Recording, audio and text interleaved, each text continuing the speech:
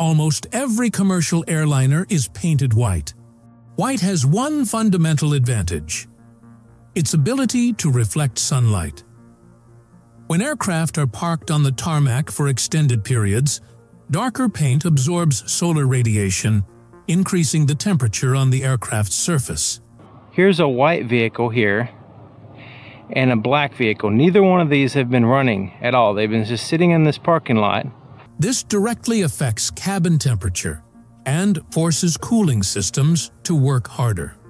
White paint, on the other hand, reflects a broad spectrum of light. This keeps the aircraft surface cooler and reduces the burden on cooling systems. White paint also makes technical inspection easier.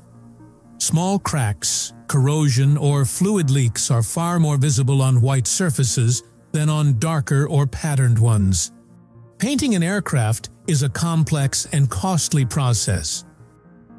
A Boeing 777, for instance, can require up to 250 liters of paint, and the process can take nearly two weeks. White paint typically requires fewer coats compared to darker colors, and paint adds weight to an aircraft. More paint means more weight, and more weight means more fuel consumption. White paint offers outstanding flexibility when it comes to branding and logos. Airlines can simply apply their logo to the tail and fuselage without needing to repaint the entire aircraft. In poor weather conditions, low visibility or nighttime, White makes the aircraft more visible to other pilots and air traffic controllers. Underneath the aircraft skin lie avionics systems, fuel lines, electrical wiring, and many other critical components.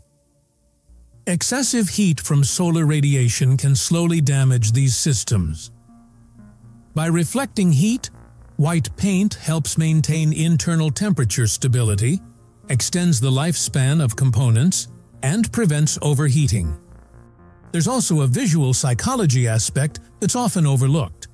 White represents cleanliness, professionalism, and safety. In commercial aviation, where passenger comfort is a core service element, white creates the impression that the aircraft is clean, well-maintained, and trustworthy. Some airlines have tried to stand out with different liveries. For example, Air New Zealand, with its all-black design, or the Star Wars-themed plane from ANA. But these are typically short-term promotional campaigns. Once the promotion ends, these planes often return to their white base coat, because white is simply easier and cheaper to maintain.